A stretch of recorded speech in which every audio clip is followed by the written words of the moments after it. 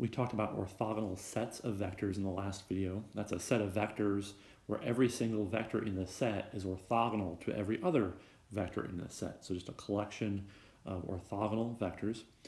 And we talked about how if you have an orthogonal set of vectors, they can be a basis for whatever they span. Given that you have that basis, you might want to be able to write some other vector in the space in that basis representation. So let's talk about how you go about doing that. So I'm going to assume that I have some subspace, we'll call it W again, and that's a subspace of Rn, and this is my orthogonal basis for W. So I everything in W can be written as a linear combination of these R vectors. And I'm going to go ahead and pick some arbitrary element from W, which means that I know I can write it in this form, right? By definition, it has to be a linear combination of these basis vectors. So the question is, if I'm handed some x, how do I figure out what this set of coefficients, the CIs, are? So how do I go about computing the CI if I'm just handed some x and told, oh, this is in my subspace, figure out kind of what these coordinates, these coefficients are. All right, so how do we figure that out? Well, it turns out there's a very simple equation, and here is the equation. To figure out what each of the coefficients is, I just compute the CI as x dotted with ui, and then normalized by ui dot ui. So actually, if you leave the x out, this really just looks like a unit vector in the direction of ui, right? We talked about how you can normalize vectors doing that. This right here is really what we call a projection. So what we're doing is we're taking x and we're projecting x onto the normalized vector ui to find the coefficient, how much of x lies in that direction. In the next video, we'll actually very carefully define this. We're actually going to give this a definition and give it a formal name, and we're going to call it a projection or an orthogonal projection. For now, though, let's go ahead and work an example. If you just kind of trust me that this is, you know, kind of the right operation to compute the coefficient, let's practice kind of the mechanics of this projection operation. And then in the next video, we'll backtrack and carefully define what we mean. So let's just kind of do an example now to have kind of a concrete thing in our mind that we can picture and understand how it works.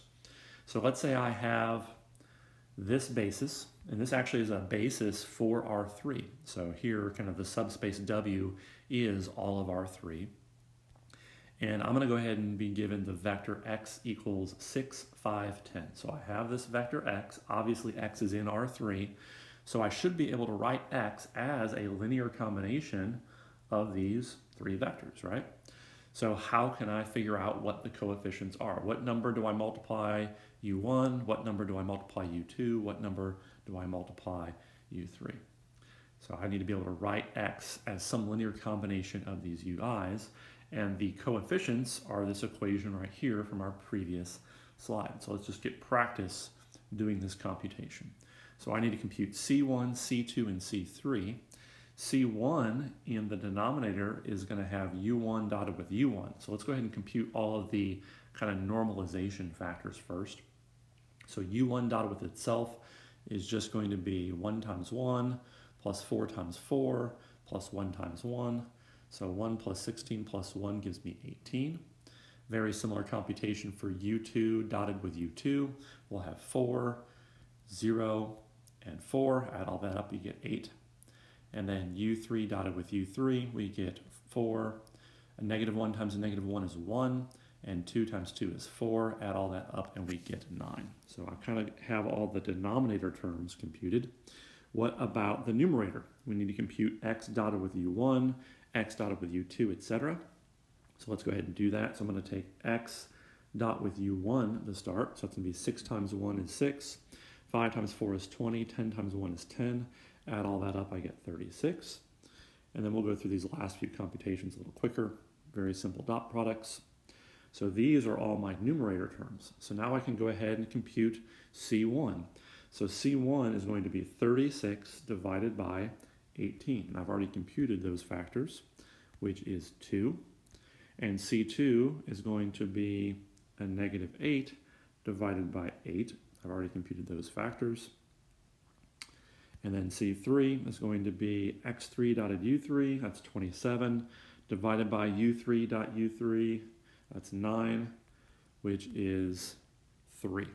So these are the coefficients that I can weight each of my basis vectors by.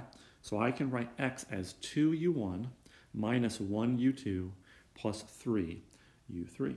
So that is how I can represent x in this orthogonal basis. And we've done that using this concept of projecting x onto ui. We got a little practice with that projection operation. In the next video, we'll go ahead and provide a rigorous definition of what we mean to project. We'll actually draw some pictures and some sketches to get a more intuitive feel on what that concept means. So check out the next video.